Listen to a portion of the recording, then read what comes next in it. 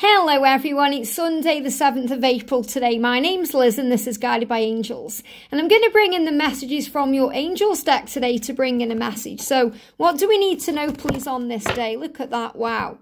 The card is marriage. Wow, we've got Daniel coming up today saying, I am the angel of marriage and I'm assisting you right now. Now, this is really powerful because for those of you who are in a marriage and maybe wanting to get out of one, the way is being created for that to happen in a very amicable way.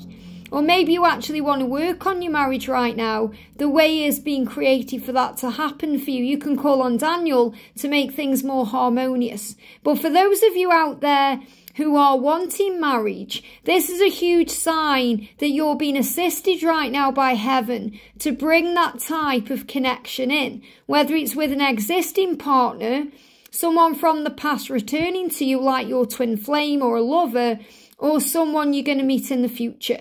And I feel this is also such a great message about the way being made to come together. So if your person is already married or involved, and they don't love that person, they know they need to move away from that marriage and that situation, the way is being made.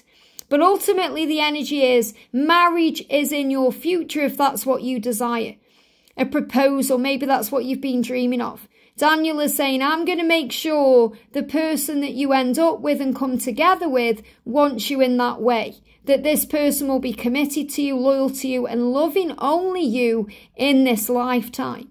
So I feel it's a big sign of monogamy and faithfulness and loyalty coming into the future.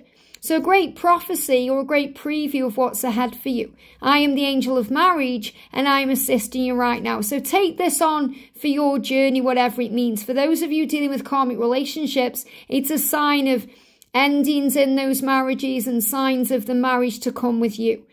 If you want marriage and you're single or this is what you're dreaming of, it's such a great message for you.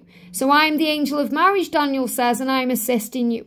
I hope this helps. Have a great day and I'll see you soon.